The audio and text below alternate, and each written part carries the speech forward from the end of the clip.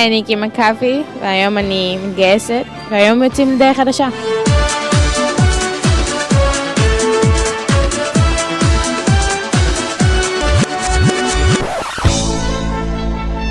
כל החברות שלי כבר התגייסו. אה, זאת אומרת שכאילו כבר כולם דיברו איתי בטלפון אתמול ואמרו לי בהצלחה וזה, הם רצו לבוא היום בבוקר, אבל הם לא קיבלו אישור להגיע. את מתגייסת להיות אה, קרבית? אני מתגייסת פה להיות פקידה קרוב לבית. קידה קרוב לבית. רציתי תפקיד, אתה יודע, שפה לידי עם הקרוב. אני לקחתי כל מה שיש, כל מה שאני יכולה לקחת.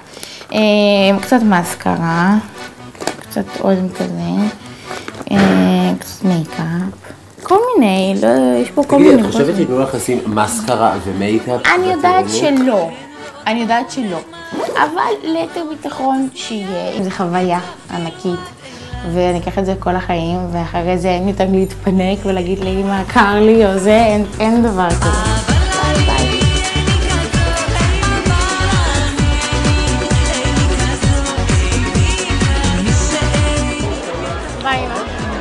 למי יהיה יותר קשה, לאימא או לך?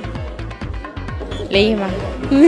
אימא, בגלל שאנחנו תאומים, ושתינו עכשיו אה, בגיוס, אז הבית ריק, וגם היא החברה הכי טובה שלי. ישנן בנות, ישנן בנות, שמתלבשות כמו בז'ורנל, אחת העיתון אל המפקדות מתייחסות אלייך יפה. לא, הם לא התייחסו אליי יפה שם בפנים, הם עשו לי פרצופים. לא מתגעגעת הביתה. כן, זה הביתה. רק הייתי פה איזה שלוש שעות, אני רוצה הביתה.